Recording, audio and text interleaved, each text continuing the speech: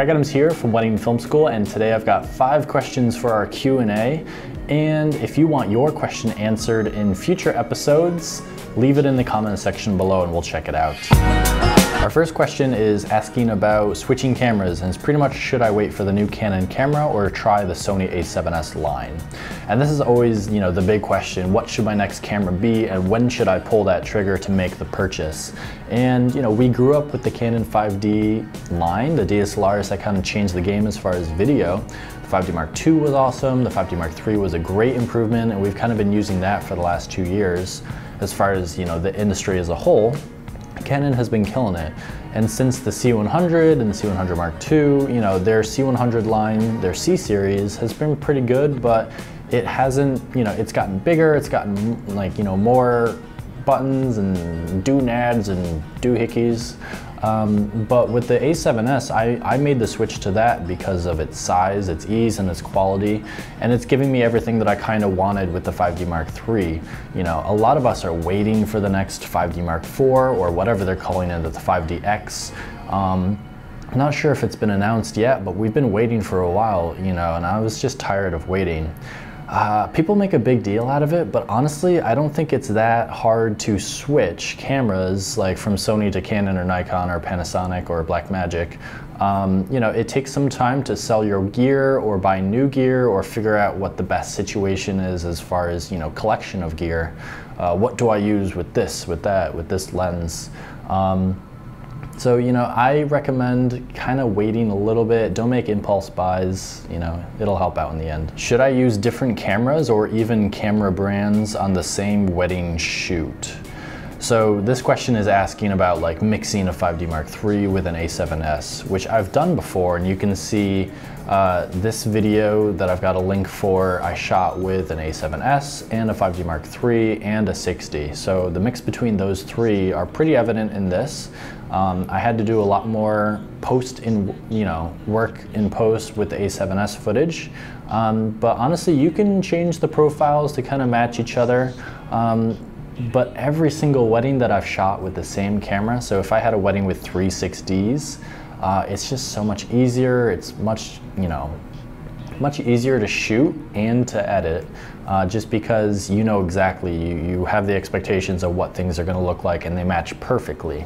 Um, you know, and that's just communication on the day of, but it is possible to match the cameras, but I, I absolutely try to have the exact camera, you know, multiples of that or, you know, the same brand at least. Why don't you use Magic Lantern firmware anymore? Uh, so I had, you know, I was a big Magic Lantern user. I had a couple tutorials on how to install and, you know, pushing the limits as far as what you could do and use Magic Lantern 4 with the Canon DSLRs, but I've had probably two or three situations where I've actually lost footage because of Magic Lantern it like messed up the camera. So sometimes when you're shooting with Magic Lantern, not even raw, just standard, just using their, you know, the features on the screen and like the digital punch in, the magic zoom or whatever they call it, and like the crop marks and the auto record, auto re-record, um, you know, it still messed up my camera. So I was shooting, I probably had like four gigs of footage and then uh, you take the camera out or the, the memory card out and you put it back in for some reason and it just won't read any of the clips. Like just something weird happened. And I tried to save the footage and I couldn't and it was just lost. And like, this is definitely something that Magic Lantern did to the card. And I've had it happen, you know, like I said, two or three times and it's just terrible. It's not worth it. So the good news is that with the A7S, another reason why I kind of upgraded to it is because it kind of has all the features that Magic Lantern gave the Canon DSLRs. And that's also one of the downsides about like Canon, like they don't have the features that I'm looking for, which is the ability to punch in digitally to check my focus while I'm recording, uh, the, uh, the ability to have crop marks on the screen. Um, all of these things Magic Lantern gave the 5D Mark III, uh, so the A7S wins. What equipment are you going to buy next? So I use Amazon a lot. So I switch between Amazon and B&H. You know, Amazon, if I can get most of my stuff on Amazon, that's how I do it. Just because the Amazon Prime two-day shipping is awesome and it's just so easy. I love their app. So I've got a cart that I save items for later. I know some people do wish lists, wish lists, but wish lists. A Canon a G7X pre-ordered in my cart. I've got the DJI, DJI, DJI Phantom 4 pre-ordered. Um, I've also got a Manfrotto head. And if you want a full list of like my current purchases of what I'm looking to buy next, you can check the link in the description below. And lastly, how do you transcode media during a same day edit wedding?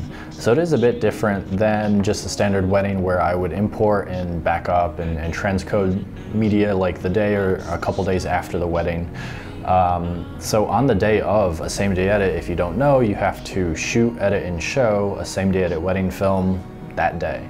So, you know, before, hopefully before, but definitely after the ceremony, you're ingesting cards, importing it into Final Cut. And what I do specifically is I use this computer. I keep everything mobile with this MacBook Pro.